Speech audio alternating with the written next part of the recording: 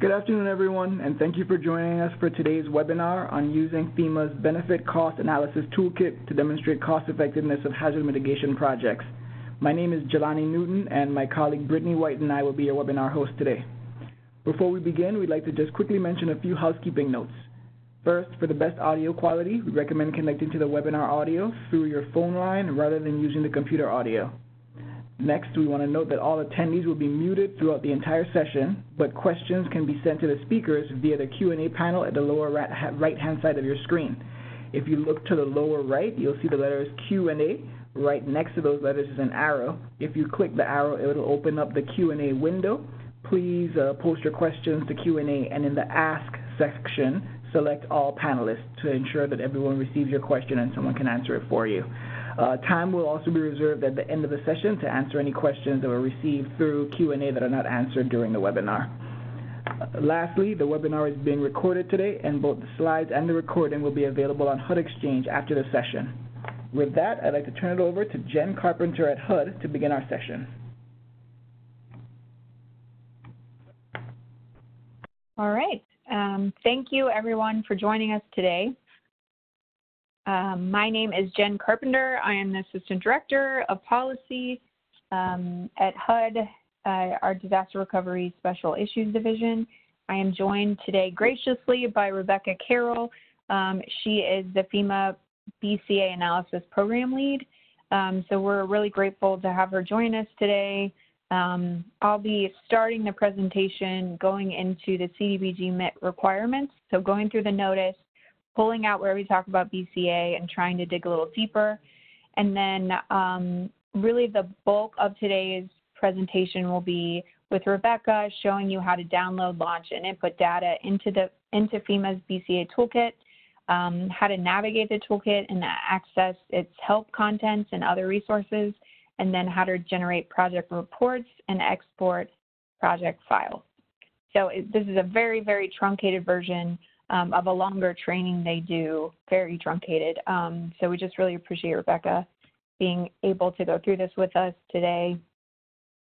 But let's jump right in to the BCA requirements in your CDBG MIT notice.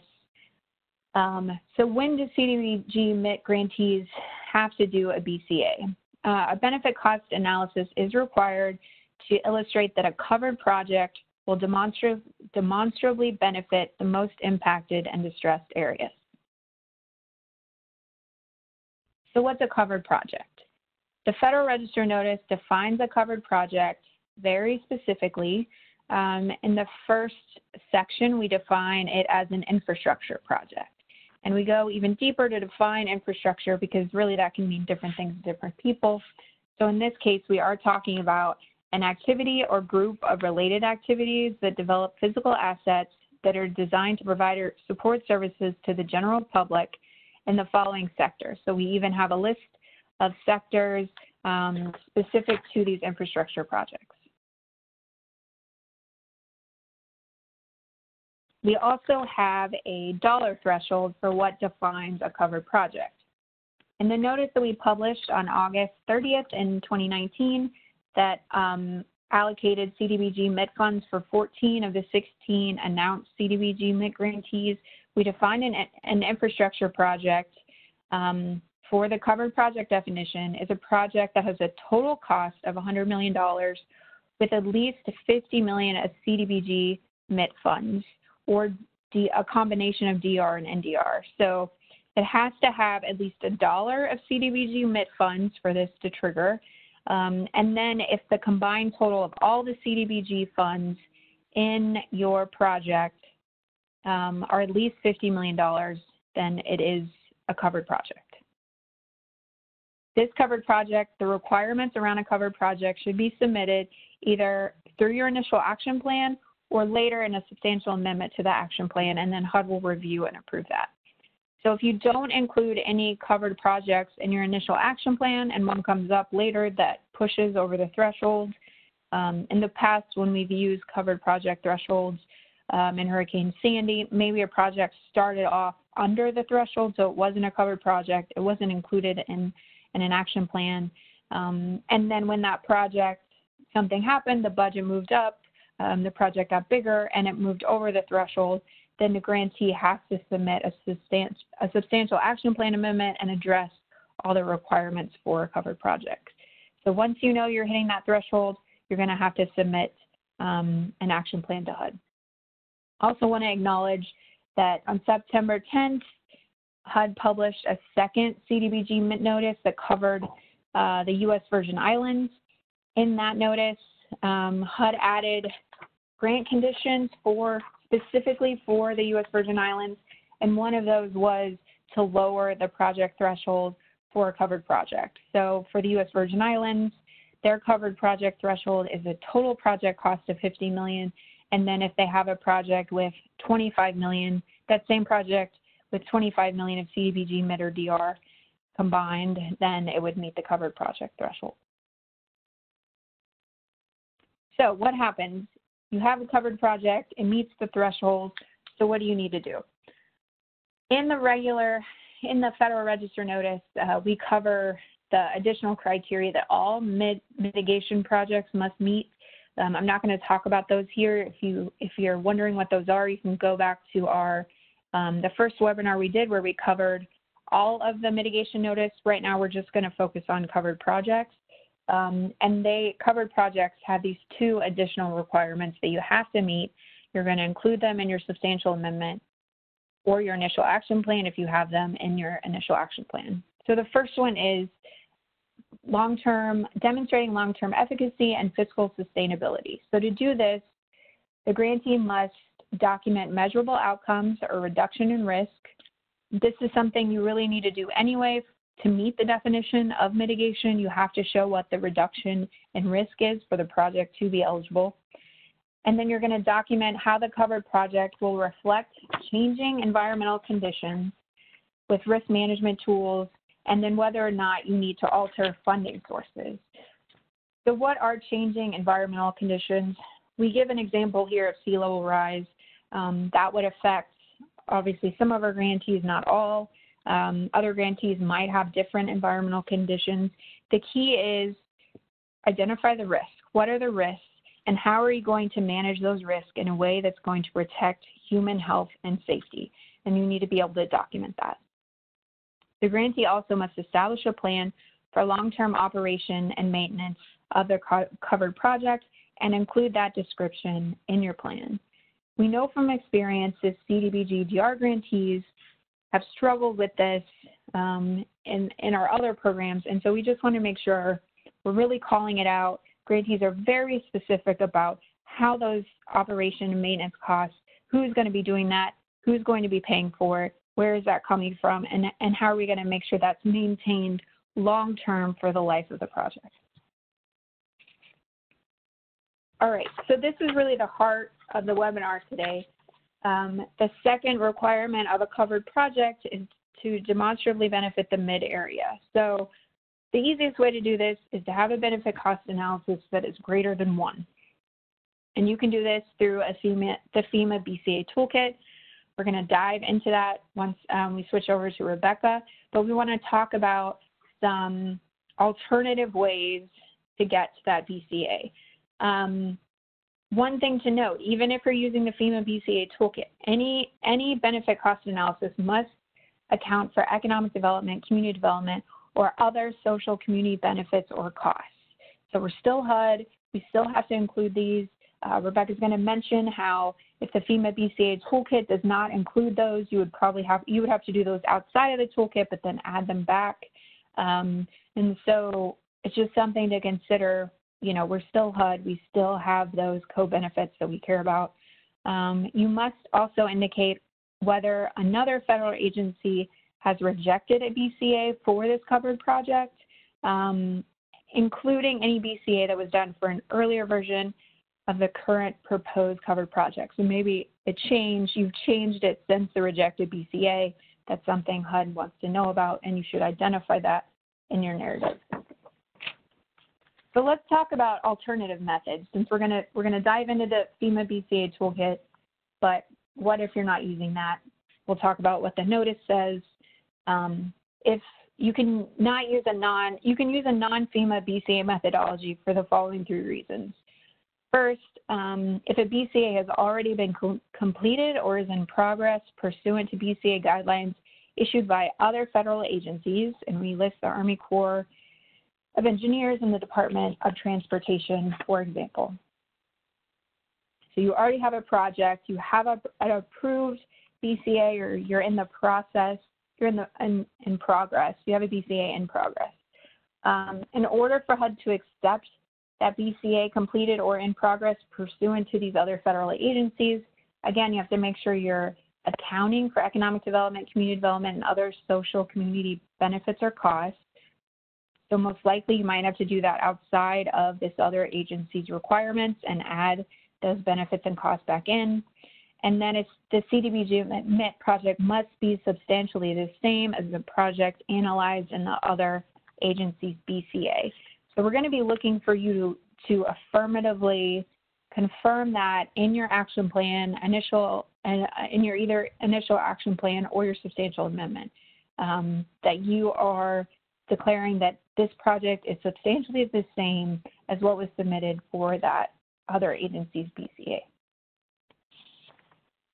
And then the other two ways in which you can use a non-FEMA BCA is if it addresses a non-correctable flaw in the FEMA-approved BCA methodology. Um, I think this is a rare case. You'd want to identify in your narrative what the flaw was and why it can't be corrected in order to use this. And we want to make sure it meets all other BCA requirements in this, in this section in the notice. Um, and then the third one, which we'll dive a little deeper on, is that it proposes a new approach that is unavailable using the FEMA BCA toolkit. So this is our, if you're following along in the notice, this section um, is titled Alternative Demonstration of Benefits.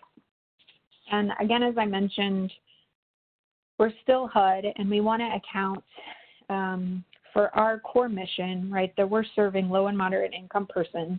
And so if your covered project is benefit, benefiting LMI persons that are less able to mitigate risk or respond to and recover from disasters, we want you to be able to demonstrate um, that you are uh, including these benefits. So you you have a BCA, you complete the BCA, you know you're benefiting low and moderate income persons, but your BCA is less than one, right? So you don't meet the sort of standard regular BCA requirement. Now, what we're what we're allowing you to do is we're allowing you to add this additional qualitative description of benefits if you find yourself in this position. While this qualitative description of benefits can't be quantified, you have to su sufficiently demonstrate the unique and concrete benefits of their covered project for LMI persons and other persons that are less able to mitigate risk or respond to and recover from disasters. And we give some examples of these qualitative descriptions. And these are just examples.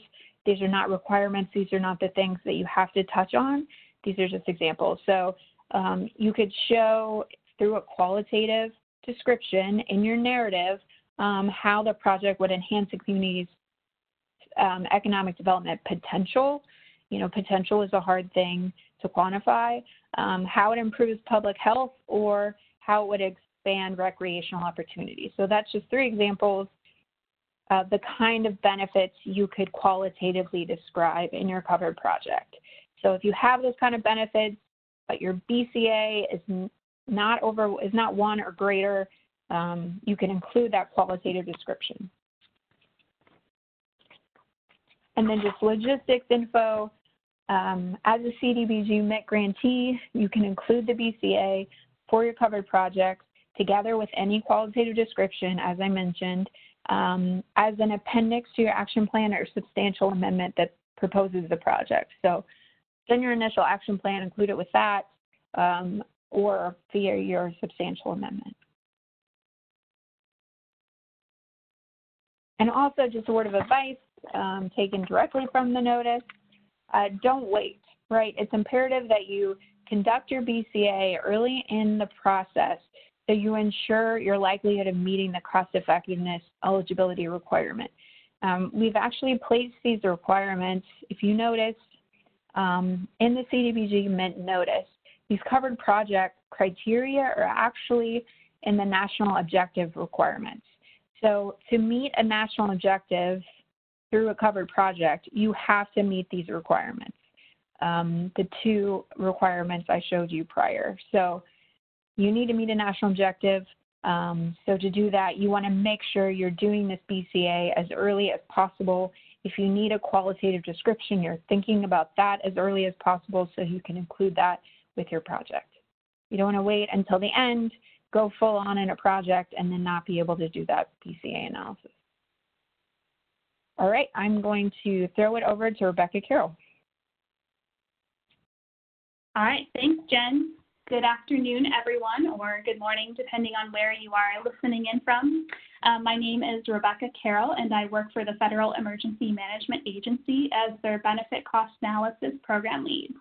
So today what I'm going to be covering is the basic navigation and use of our BCA software, which we call the BCA Toolkit.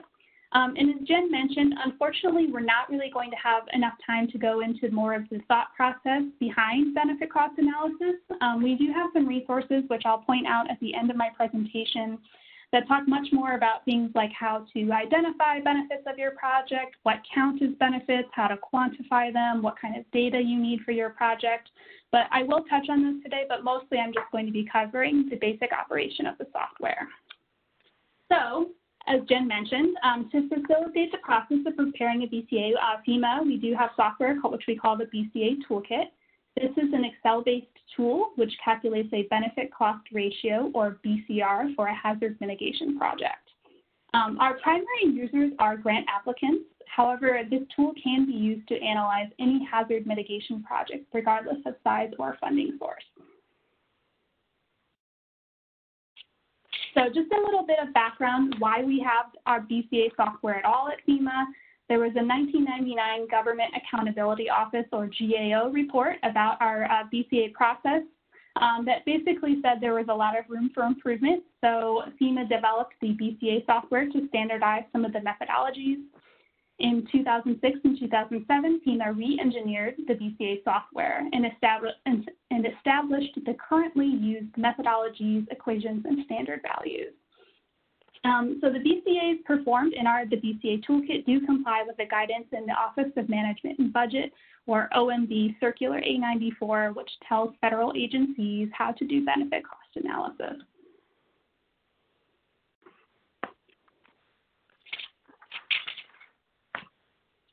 Okay. So our newest version of the BCA toolkit, which is called version 6.0, is an Excel-based add-in. And if you're not familiar with what an add-in is, it's like an app within Excel that extends the functionality of the program.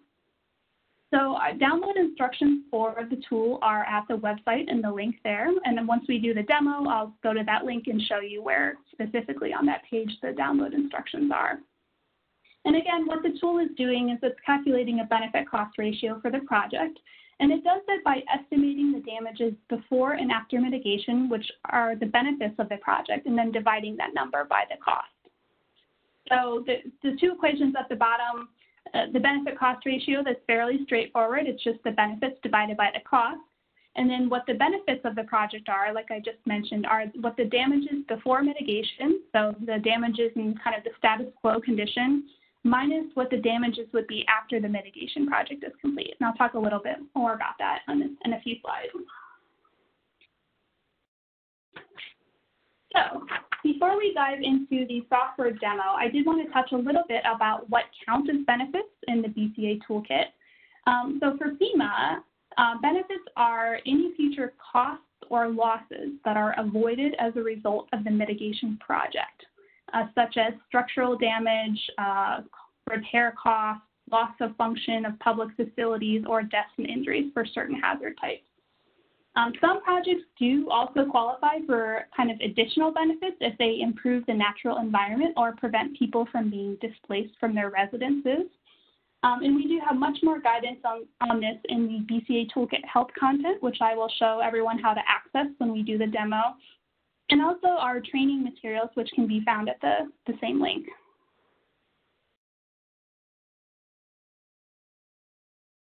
All right, so let's talk about a minute for what don't count as benefits. And you'll notice that there is an asterisk on this slide, and that's because these don't count as benefits in FEMA BCAs, but they may count in other federal agencies. So the first one, um, in, FEMA, in the FEMA's BCA toolkit, we do not count the secondary effects of the project, for example, increased employment or economic growth. And like Jen mentioned, that actually is a requirement for HUD that you capture that in your benefit cost analysis. So I think what you would probably have to do is somehow quantify those benefits, the economic growth benefits, and then add them to the total benefits that are calculated within the BCA toolkit. And we can kind of show you how that would work once we do the software demo. So the second thing that um, FEMA does not count is anything that's not quantifiable. So for example, the increased resilience of a community. That may be a benefit of the project and we know that's a benefit, but unfortunately there's not really a good way of quantifying that. So FEMA does not allow that to be counted in the benefit cost analysis. Um, and then the last two are things that are quantifiable, but because FEMA is primarily focused on the risk reduction benefits of projects, uh, FEMA does not count these. Um, those are energy cost savings and then reduced pollution or greenhouse gas emissions. Um, and then if, if you did want to count these as benefits of your project, um, pending you know, HUD rules on this, you could do the same thing as the economic benefits where you calculate them outside of the software and then add them all together at the end.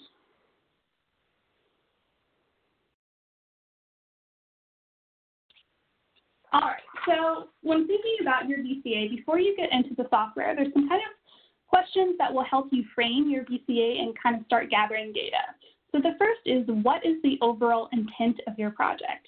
Um, this is not the physical work that's being performed. So let's, let's use an example of a flood wall. So if we're building a flood wall, um, the intent of the project is not just to build a flood wall. The intent of the project is to protect something from flooding, right? So that kind of leads me into the next question, which is what structures or public services will be protected by the project? Maybe it's homes, utility infrastructure, fire station, police stations, government services, hospitals, etc. You really kind of want to think about what's being protected by the project.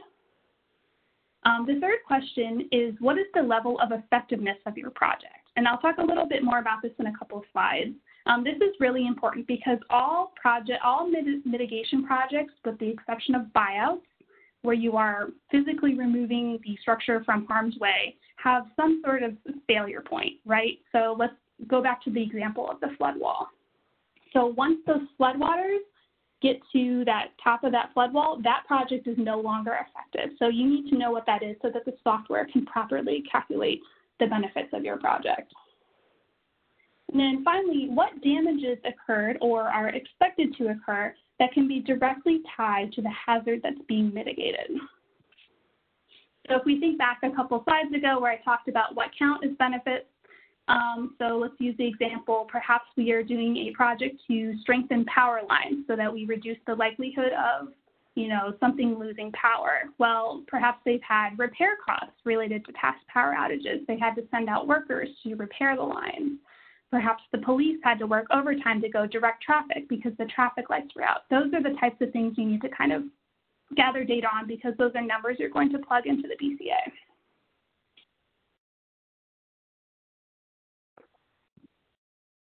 All right. So what data do you need for a BCA? Um, for all projects, you're going to need to know, this is pretty obvious, but you know, where is this project happening and what hazard are you mitigating? For infrastructure type projects, um, these, this doesn't really impact the calculations, but it's really just more for you to keep track of the project and the software. Um, you need to know the project cost, which seems obvious if you're doing a benefit cost analysis. You need to know what the project cost is. Um, and then you also need to know the project useful life. And what that is, is that is the amount of time that the project is expected to be effective, um, assuming proper maintenance. The help content in the software does provide standard values for many project types. And typically we see uh, project useful lives somewhere in the range of about 30 to 50 years.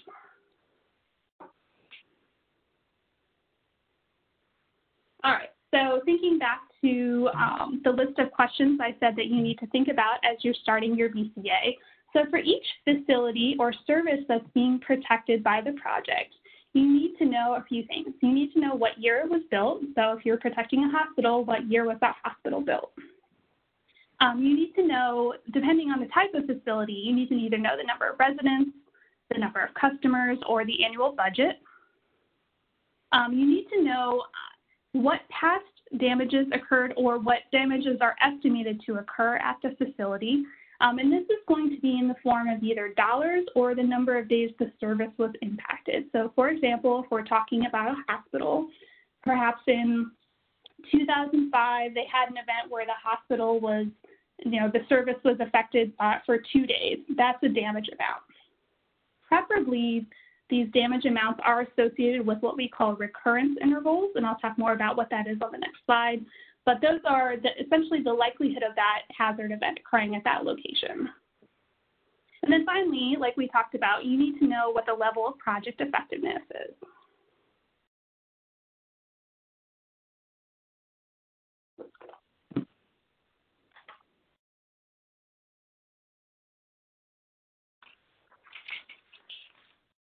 Okay, so let's talk a little bit before we get into the software about what we mean by past or expected damages.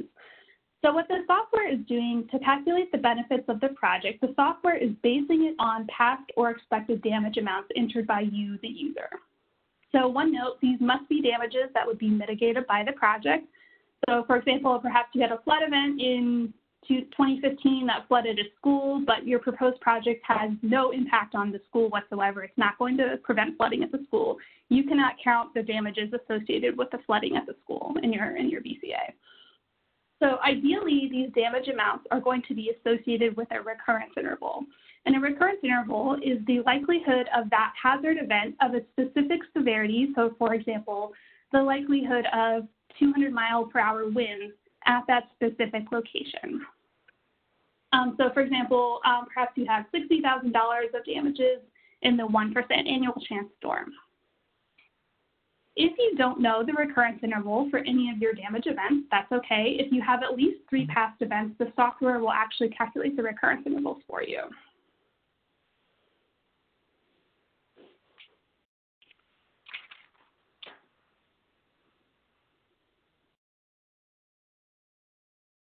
All right, and then just to really hammer home on the project effectiveness, so if we think back to the equation I showed a few slides ago where benefits equals damages before mitigation minus damages after mitigation. So to properly estimate the damages after mitigation, the software needs to know what the level of project effectiveness is. And this is going to be in the form of the recurrence interval, so the 1% annual chance event or the 100-year storm, plus a damage amount, which is going to, again, going to either be in dollars or the number of days the service would be impacted. So for example, um, in the 500 year event, we expect one day of lost service even after the mitigation project is complete. Sometimes you might hear this referred to as residual damages. Uh, in most cases, this is going to need to be determined by the project engineer or some other type of qualified professional. All right, so that was a very, very brief overview of what count as benefits and uh, what type of data you need to begin your BCA. So now I'm going to actually go into the software and give you guys a demo.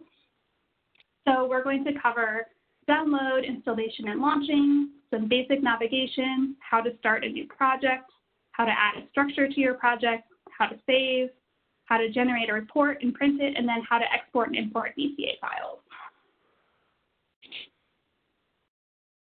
All right, so download instructions are at our website, which the link is in the first bullet there.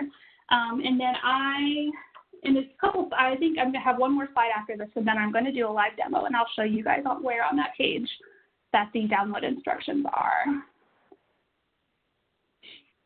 All right, so the system requirements for this tool, um, you do need Excel 2013 or later.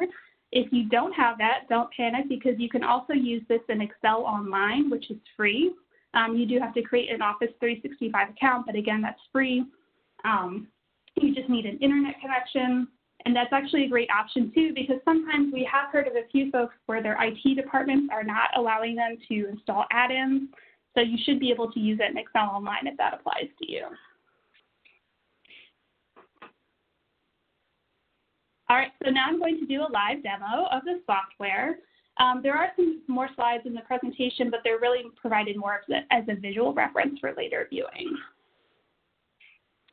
All right.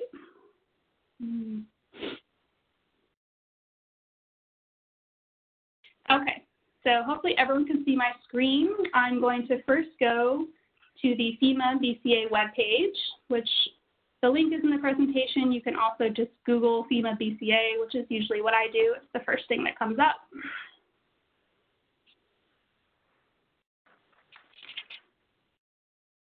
Um, so if you look about halfway down the page, you see a line here for BCA Toolkit 6.0. You want to expand that.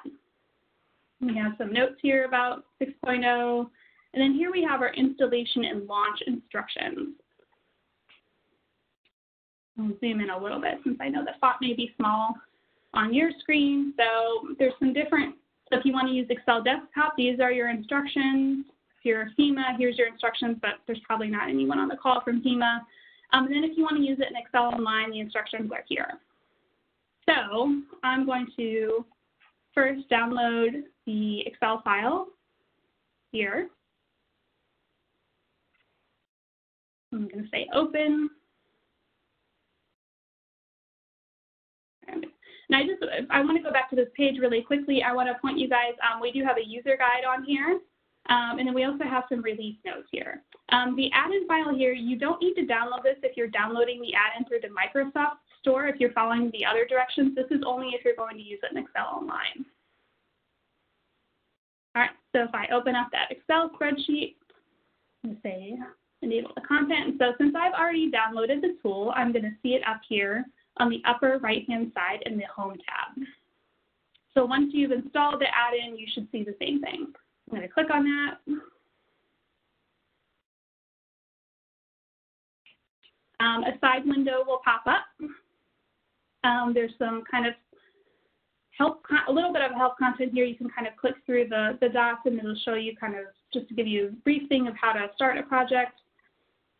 But you're going to want to click Open Calculator and it's going to open up a new window.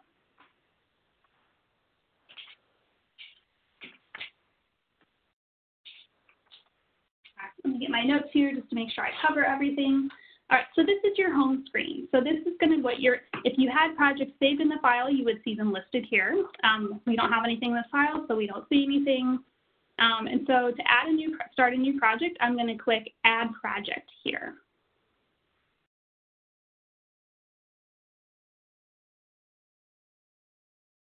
So here's where you're going to enter some data for your project. So the first thing we're going to enter is the project title. So I'm just going to do a fake project here. I'm going to say hospital flood wall. Um, if you're connected to the internet, um, when you start typing in an address here in property location, it's going to start populating addresses that match that. So I'm just going to type in 123 Main Street, just pick an address here. Again, for infrastructure type projects, it doesn't really matter what you put in here. Um, the software does have the capability to analyze uh, wildfire mitigation, seismic mitigation, um, and then hurricane wind retrofits. So if you're doing one of those project types, um, it actually does use your location information to pull in the hazard data for that location. All right, so I'm going to select a structure type. If you're not sure what to select here, I'm going to point you to the help content. So you see these little eyes here. If you click on that, it's going to bring up a help window. And the help content is really great. It's a wealth of information. It's probably about 80 to 90% of the questions you'll have as you're going through the software can be answered in the help content. And it is dynamic, so it's going to show you help content relevant to whatever screen you're looking at. So here, um, it's going to tell me a little bit about this page, let's say I don't know what to put in for my structure type, I'm going to expand that section and then it's going to tell me, give me a little bit of information about each option that hopefully gives me some better, better idea of what to select. All right, so since this is a hospital, I'm going to select critical facility building. And then the hazard I'm mitigating, let's, we'll say it's a flood, riverine flood. Um, and again, there's some options. So these options are uh, driven by what we select in the previous line. So I'm only going to see mitigation project types that are related to flood. So If you're not sure what to put, you can always just put other. Again, it's not really impacting the calculations. It's more just kind of how the software tracks the project. So let's say I've had past damages at this facility and I want, that's what I want to base my BCA on. I'm going to select historical damages here. And then I'm going to put in a project useful life. So again, let's say I'm not sure what to select. I'm going to select the help content here and click on the section for project useful life. And here we have a whole tape, a bunch of tables that talk about different project types and what the standard value for that is. So one thing I'll point out, we do have a standard value for project useful life for all these project types. And then we also have kind of what we call acceptable limits that you can go up to that number if you provide some sort of documentation, perhaps from the manufacturer or your project engineer explaining why you're using that higher value. So for this, I'm just going to say 30 years. Um, my project cost, perhaps, um, I'm going to say $2.5 million. I'm not going to have any, if you have maintenance costs, you can put those in here, and then you'll notice if you, um, it's going to automatically add that to Oh, yes, I, we just got a question. Um, you don't see other listed as the property structure type. Yes, that is actually a bug in the software. We are working on fixing that right now. So we should have that fixed shortly. Um, I, one thing I will note, the great thing about you having this as an add-in is you never have to install any updates. They all update automatically. So anytime um, we fix a bug or update something, next time you open up the add-in, it's just going to automatically download to the newest version, which is pretty cool. All right, so I'm going to click Next. This is going to take me to another screen. Um, and here's where I'm going to put in some of that data that I mentioned uh, you need. So I'm going to need to know what year this hospital was built. So perhaps it was built in 1980. Um, I also want to point out some other things here. So you'll notice there's a little um, some lines and a plus here over on the right-hand side. That's what we call the comment box. So for FEMA, we require documentation for all the numbers that are put in here. So for example, so I just put in that the year the property was built was 1980. I'm going to open that up and I'm going to tell, I'm going to say, you know, see property record card in project application or something like that. Just basically letting the reviewer know where they can find the justification for that number in my project application. I don't know what HUD's rules are going to be as far as documentation, but I know with for FEMA we have very strict requirements for, for what counts as documentation for these various data points. So I'm going to say save there, and that's actually going to show up in the project report, which I'll show you guys how to open up in a second. All right, so since we selected the property type uh, or structure type as critical facility. Um, it's going to show me this critical facility is what we call card. And what we call cards are kind of just these bounded boxes of different um, sets of data inputs. So I'm going to select hospital from this list, and it's going to ask me some questions about the hospital. It's going to ask me how many people are served by this hospital. So that's probably data you would get from the hospital itself. So I'm just going to say 100,000. Uh, I think we had a question about, I think work, I'll, I'll answer the questions at the end. So I do want to note, so if you, if you still, I think the question was about if you don't have the number of customers or for other critical facility types, um, you would select other and then you would put in the annual budget and that's how it's going to calculate the value of that facility. So um, it's also asking me here what's the distance in miles between this hospital and the hospital that would treat these people in the event that this was inoperative. So I'm just going to say it's 30 miles from the nearest hospital. How many people are normally served by the alternate hospital? I don't know, we'll just say uh, 80,000. All right, so here's the card where it shows historical damages before mitigation. This is where it's going to ask me what are what damages have occurred um, that can be directly tied to what I'm my project is mitigating. So it's going to ask for a damage year, recurrence interval, and again, if we don't know the recurrence interval for our events, we would need at least three historic events. How many days was this hospital impacted in that particular event? And then we have um, optional damages here. So the primary damages for critical facilities are in the number of days they were impacted. perhaps, but perhaps we also had, you know, repair costs because it flooded. So I'm just, you can rename these columns to say repair. So I'm just going to put in some numbers here. Perhaps in 1987, we had a flood and the hospital was impacted for two days and had $95,000 in repair costs. I'm going to add a row here, add in my next damage event.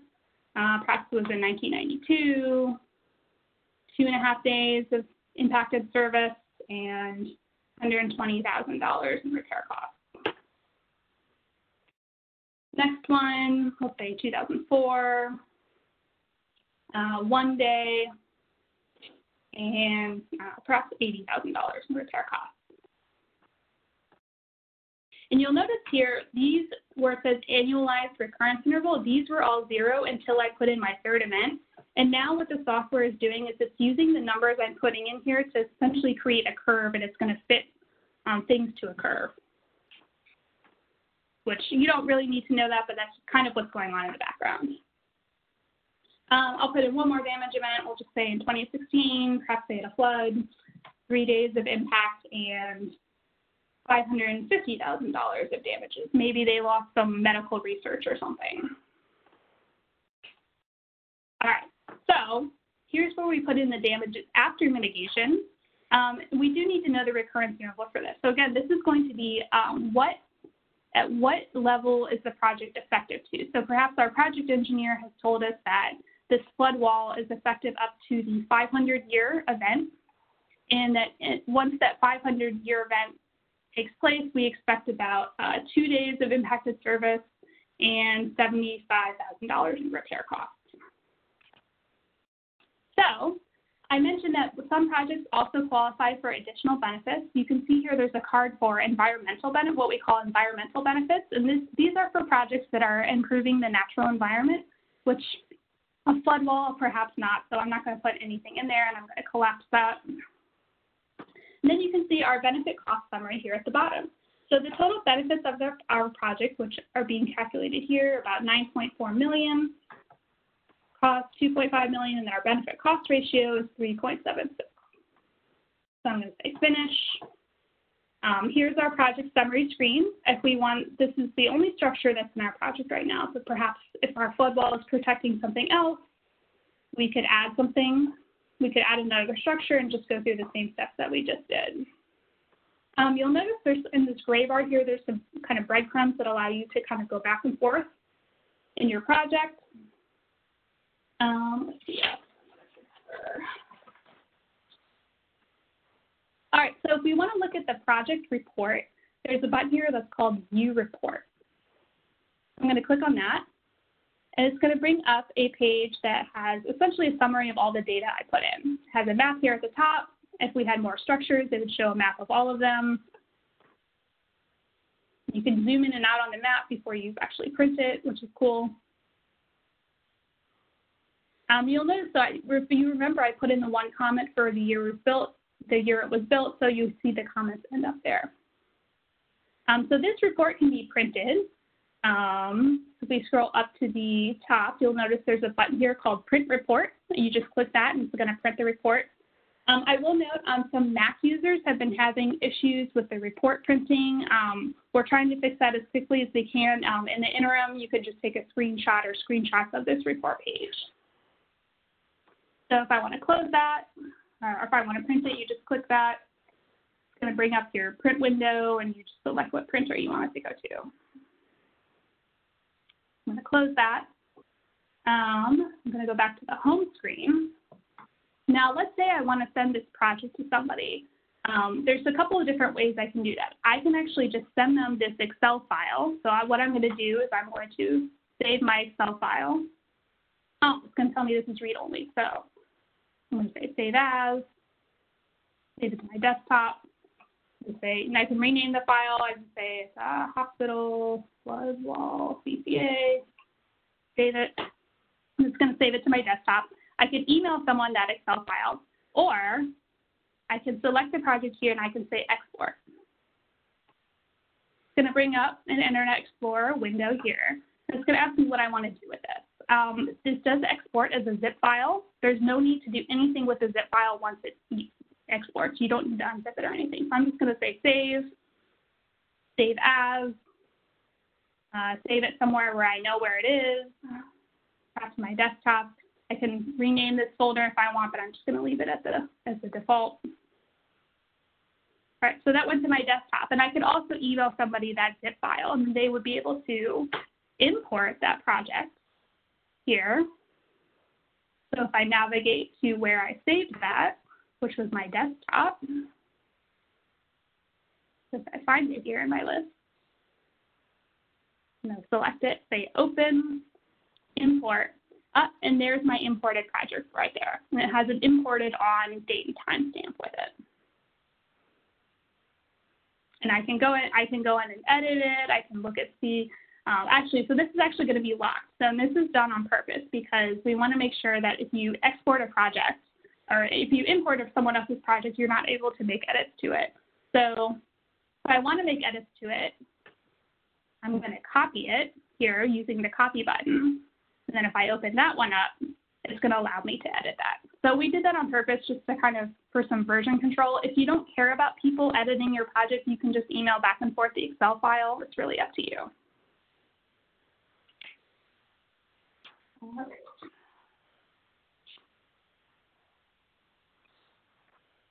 Okay. Okay, so I think I covered, oh, one other thing I wanted to show you, the last thing I wanted to show, you'll notice that there is a, um, I'm going to the next page. A lot of the data fields have a use default uh, yes or no toggle. Um, what, that, what that is, is a lot of, we really tried to simplify the software from the previous version and put in a lot of default values where we could. However, if you have better data, you can always override those. You can say no, and then you can put in your own number. And then, at least for FEMA, we recommend that you put something in the comment box kind of explaining, you know, using non default values because, you know, whatever. All right, so that's that's our BCA software in a nutshell. I know that was a very, very quick overview. Um, oh, someone says they like the tool. Thank you. Um, I don't know if anyone has ever used the previous version of the software, which was called version 5.3. This is a vast improvement in terms of um, user friendliness and the number of data inputs. So we're really proud of it. All right, so I'm just going to close that added window, and I want to make sure I save my work, so I'm just going to save the Excel file, and then I'm done. So let me go back to the um,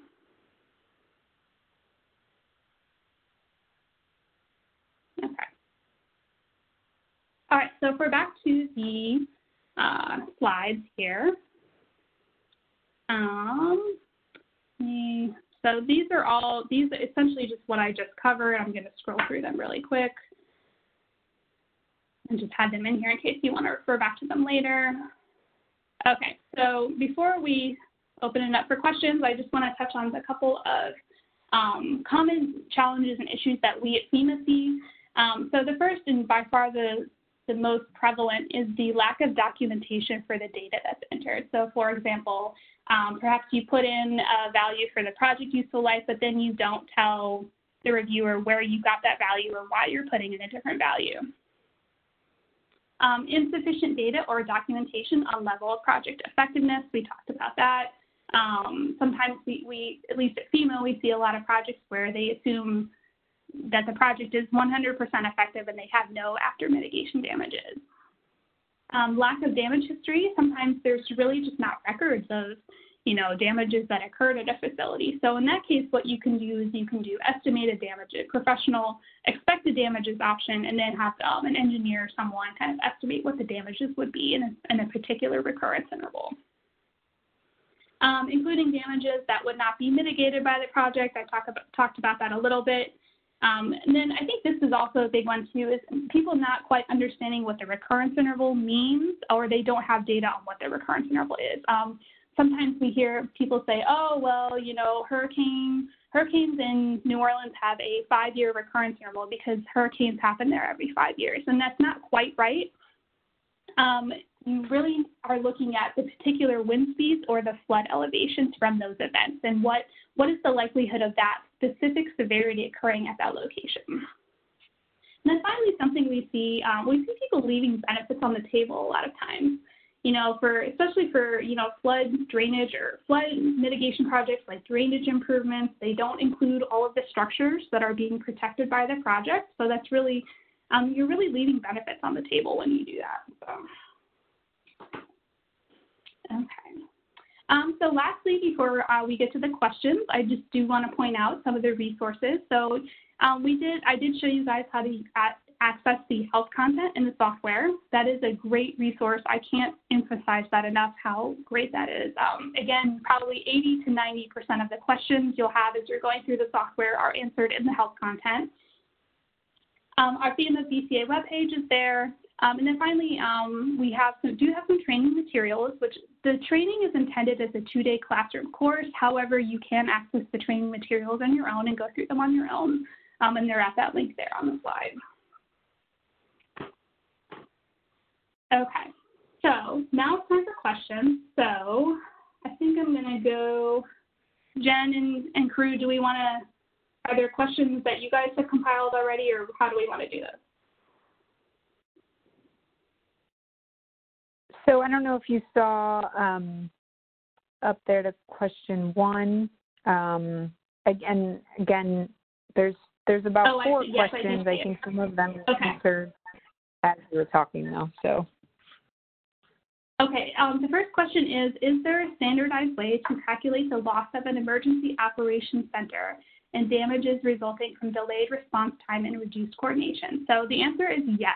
Um, I will also, so there's a, I believe it's in the help content. Um, if it's not, um, we do, there's a link on our BCA webpage for something called the BCA helpline. They have information how specifically to calculate the, um, the annual budget for emergency operation centers because they're not, usually they're not open all the time. So it's kind of hard to use the annual budget to calculate that number. Um, and then damages resulting from delayed response time and reduced coordination. That's a little bit harder to quantify, but I will say the the value that's calculated for I think the fire and police stations and the hospitals that does take that into account. And again, if anyone is interested on how the values for those services are calculated in the toolkit, you can email the uh, BCA helpline and they can send you the methodology reports. Okay.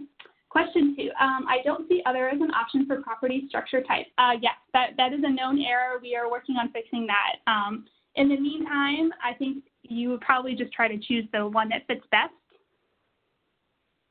Um, the project is a pump station. Um, you would probably either select critical facility or you, you, would probably select utility actually if it's a pump station. But again, we're working on fixing that, so hopefully that'll be fixed soon. Okay, question three. Regarding critical facilities, public works buildings are not listed. Uh, fire and police consider public works important to their response, and we provide all their view. How would we classify a public works building? Um, you would classify it as a critical facility, and then in the options on that second screen, you would select other, and then you could go ahead and put in the annual budget for that facility. Okay, um, aggregate acquisition projects. Uh, yes, okay, so this is a good question. Um, you'll notice that it's kind of tedious to add a new structure to the project, and I think this is going to also answer um, the last question, which is how do you recommend performing analysis for large projects which may benefit a number of structures? Is there a way to batch import structures? Um, the answer right now is no. However, we are working on that, and we hope to have that um, probably sometime early next year, available in the software. Um, that is a feature in version 5.3, which is still available for download on our website. Um, it is a little, it is a very old version. Uh, it is a very old piece of software, so I can't promise you that it's not going to break in the next few months. But that is that is a feature in version 5.3. If you do need to batch upload, you know, hundreds or thousands of structures. So back to the question about aggregate acquisition projects. What the software does is it calculates the benefits and costs for all of the structures in the project, and then it calculates a project level benefit cost ratio. And at least from a FEMA perspective, um, our requirement is that the project benefit cost ratio be 1.0 or greater. So you may have individual structures within the project that whose benefit cost ratio are below one. I hope that answered the question.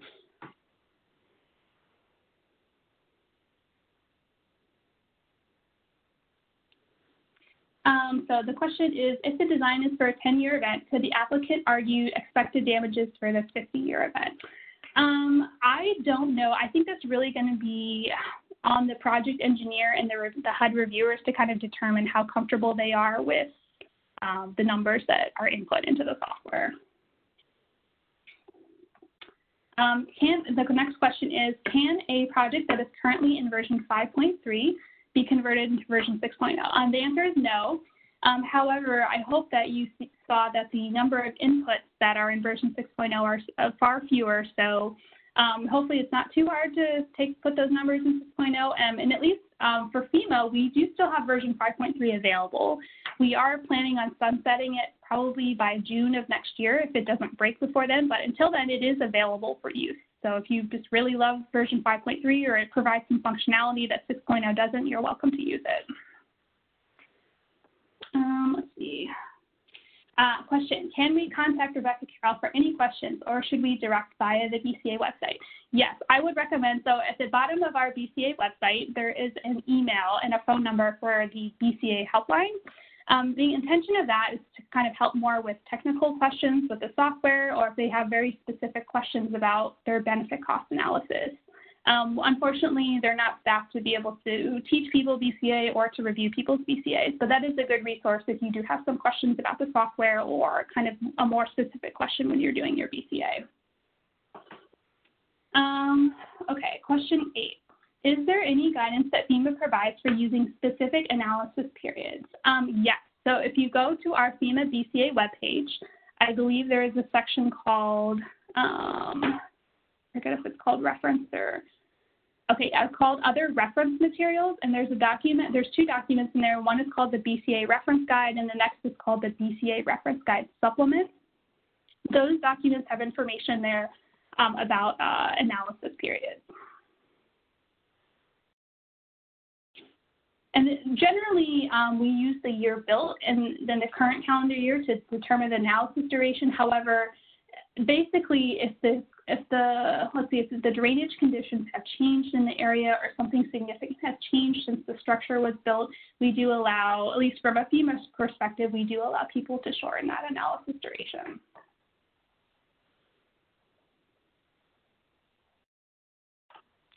Okay, question nine. How does the BCA get evaluated? Pass, fail, numeric, or grade? Um, I'm going to let Jen answer that one. Um, I know from a FEMA perspective, our requirement is that the BCR be 1.0 or greater. Um, we, at least FEMA, we don't really have a lot of ranking criteria based on the BCR itself, other than that the requirement it has to meet is that it's 1.0 or greater. And this is Jen. I would just say, um, as I mentioned in the HUD part of the webinar, um, if you do, if you have the one 1.0 or greater, that's great. And then if it's less than one, you need to have that qualitative, um, that qu- qualitative narrative that um, talks about benefits that cannot be um, provided um, through numbers. And so you would just include that analysis with your BCA if it's less than one.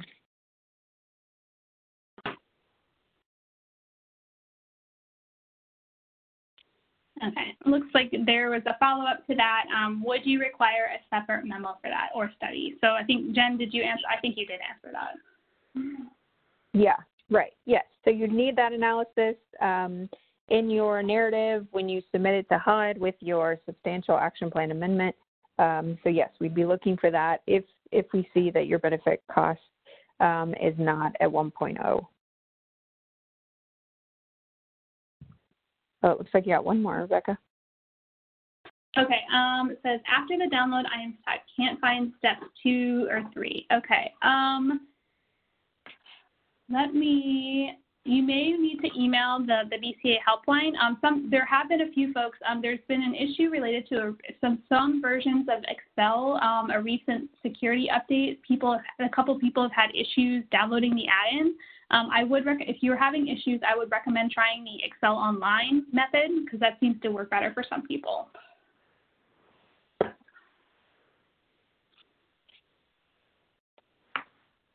Um, question 11, is there a factor in the defaults that takes into account isolated communities? For example, a rural area with a small hospital might have a small number of hospital beds, but is critical to the community, which may, may be located far from the next hospital. Ah, yes, so that's a great question. Um, right now, um, the answer is no, unfortunately. Um, FEMA, I believe there's some rule that prevents us from taking into account socioeconomic status when we uh, evaluate projects. So I unfortunately, a lot of our benefits are driven by people. So projects that impact larger numbers of people tend to have more benefits.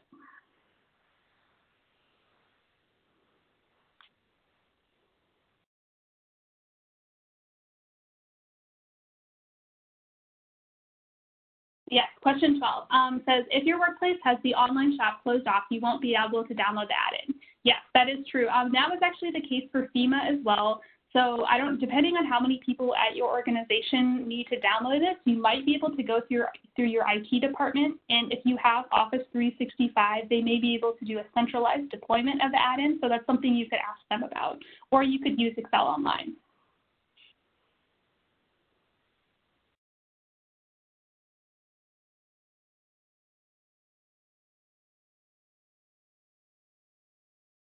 All right, I think I think that's all the questions. Um, do we want to move to the last couple of slides and then we'll see if we have any leftovers? Yeah, sounds good. All right. Um, make sure I have control of it. Can I move the slides now? Yes. All right. So hopefully everyone can see this slide. Um, First of all, thank you so much to Rebecca. That was a lot of questions, and we really appreciate her um, answering all of those. Um, and if you have if you have additional questions, you can always um, use the cdbg.mit at hud.gov email um, and send it there, and then I can see about um, getting some answers for you if it's something that um, can't be answered via the website. so for just to give everyone um, this resource slide that we've included in the past. Um, these are the webinars we've already done as part of our webinar series. We have, this is our fifth webinar actually, um, and so all of the materials have been posted for the previous uh, webinars that we've done and the buyout one that we did last week, those will be coming shortly. It usually takes us seven, a little over a week to get those slides up. Um, so just bear with us on this one. We'll try to we try to turn it around as quickly as we can, get those slides up so you guys can download them and have them, and then also have the audio um, if other folks missed it. And then um, our last webinar that we have announced is coming up next week, and that's best practices for transformative mitigation projects. Um, I've been seeing through the evaluation questions we've got that a lot of folks are asking for this. Um, so that should be a good one to talk about some really success success stories and best practices. And um, I would love to know as you're filling out um, the questions they send at the end in the evaluation, take a second and think if there are other webinars you'd like us to do over the next, you know, two to three months um, prior to action plan submittal, which starts in February for the first cohort. Um, let us know. You know, if there there are some topics that we haven't covered yet in um, the five webinars we've done and the sixth one we're going to do next week, please let us know. We'd love to hear those suggestions, um, and we appreciate it. So thanks everyone for joining us today. Is is there another question Rebecca, that you want to cover, or yes, um, looks. I'll, I'll go ahead and okay. answer this last one. It looks like so. The question is: Is it acceptable to recreate the FEMA BCA calculation in an Excel spreadsheet outside of the toolkit and perform for a large project and input its professional expected damages? So, I would so I kind of my answer to that kind of depends. I would say if you do have if, we go back to the example where we have perhaps we have a project where there's a thousand homes being protected, you could add up those damages in a spreadsheet and do like a lump sum and then just put in one structure in your BCA instead of a thousand. That that would be acceptable. Um, I can't comment. I can't speak for HUD as to say whether or not it would be acceptable to recreate the the calculations themselves outside of the software. Right. So I think it would only be in the case where we noted in the presentation that you would not use the toolkit. So we, we had some things there where we talked about why you wouldn't use the toolkit. Um, so I really think those are kind of the paths to take. And then um, one last, we have lots of questions. Again, the presentation, just give us about a week and we will have it up online for you to download and we'll have the audio up to for you to listen. And then um, to just one last question that I do want to answer, um, asking that if a community doesn't have a $15 million infrastructure project, is a BCA not required? Again, you only have to do a BCA if your project meets that covered project criteria that we established in the beginning, that's in that's defined in the Federal Register notice. Um, that's the only the only thing that triggers a BCA, though I think it's probably good practice um, to do a BCA on your project. So, um, but in terms of what HUD requires, it's only for covered projects. And in terms of outside of a BCA, how would you determine cost reasonableness? We really leave that to grantees. You make your own, you have an, your own analysis about whether things are cost reasonable based on market conditions, local conditions, or where you are. Um, so we don't really dictate that to grantees. It is something that um, each grantee should be doing based on local market conditions.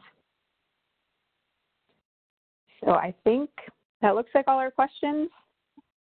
Um, so we'll go ahead and wrap up early. Again, thanks so much to Rebecca Carroll from FEMA for joining us today, um, and thanks to our enterprise folks as well.